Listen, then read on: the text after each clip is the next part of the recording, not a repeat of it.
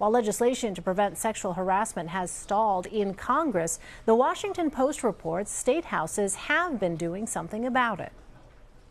Amber Phillips is a reporter for The Fix at The Washington Post. She joins me now from Washington. All right, so Amber, what kinds of changes have state legislatures been making when it comes to workplace misconduct? Yeah, Elaine, they are basically dusting off rules that they had on the books uh, for decades and probably no one until now has looked at and saying, how can we make this easier for uh, victims of people in power in state legislatures to report potential sexual misconduct. So a couple states have set up hotlines. Other states have set up commissions to sort of rework their whole um, their whole rule book for sexual harassment.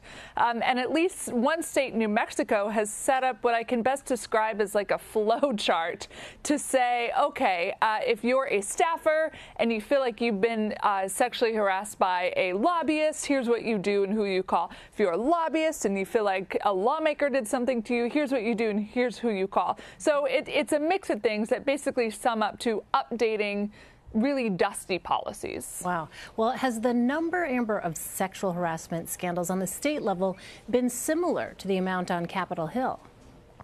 I think so in terms of volume. Of course, it's not apples to apples because there are hundreds more state lawmakers than there are members of Congress.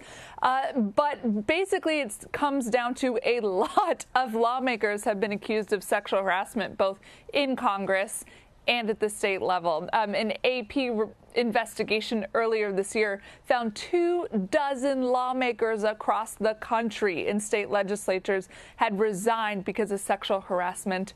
At least two chambers had to force out members. I believe that was Arizona and Colorado who wouldn't go over accusations. And then, of course, in Congress, I recently tallied it up, Elaine. Nine members of Congress over the past six months have lost their jobs over sexual harassment. Uh, at one point in December, three members of Congress lost their jobs in one week. Historians wow. tell me something like that hasn't happened since slavery. Wow. Um, well, Amber, you mentioned off the top that many states are dusting off the laws that they had on the books. Did most states actually have, though, explicit, spelled out harassment policies, sexual harassment policies prior to the Me Too movement? Yeah, it depends what you mean or how you define, I should say, explicit and spelled out. Uh, analysts, nonpartisan analysts tell me that most states had some kind of perfunctory rule that said sexual harassment is bad, don't do it. Uh, but at least a third of states did not require any training whatsoever on what sexual harassment actually means. Of course, in Congress, uh, this year is the first time in its history in both chambers that lawmakers will have to go through similar training. So a lot of these rules really seemed written by uh, people and lawmakers inclined to sort of appease the lawyers, say, okay, we have this down that sexual harassment is bad, rather than make it easier for victims to be able to report it. Well, does it seem like Congress will update its own policies this year? I have struggled trying to figure that out. The House passed something in February that a lot of advocates praised to make it easier uh, for people not in power to, of course, challenge people in power they feel are, are treating them improperly. That bill is stalled in the Senate, and I can't quite figure out why. It just seems like it's not a priority for some reason.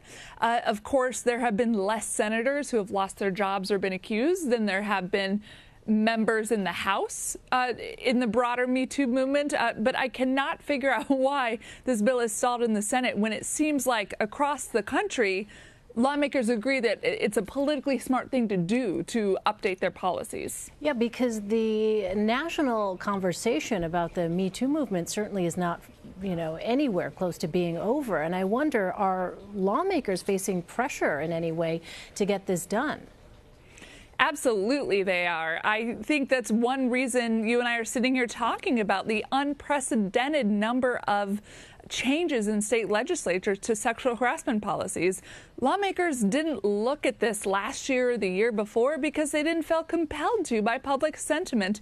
And the Me Too movement has changed that in a very drastic way. Um, of course, the big outstanding question is, as you pointed out, is what will Congress do, if anything?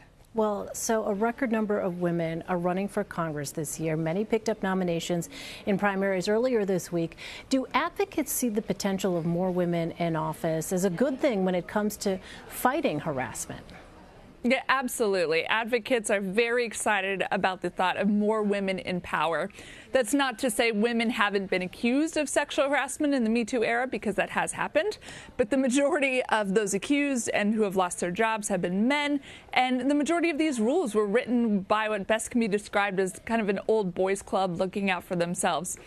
But a lot of these women who are running, and it is a record number at all levels of government, anywhere you look, need to win first. And, and advocates are very cautious about whether they can actually win at record levels. It's not because women can't uh, win races at the same rate as men. It's just that a lot of these women are in primaries against each other, or in the case of this week, a lot of these women were Democrats who won their primaries in very Republican states. So that record number could dwindle by the time we get to November and on election day.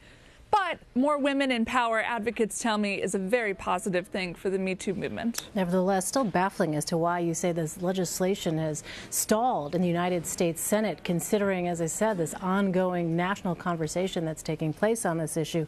Amber Phillips, I know you'll continue to watch it. Thanks so much, Amber. Thank you.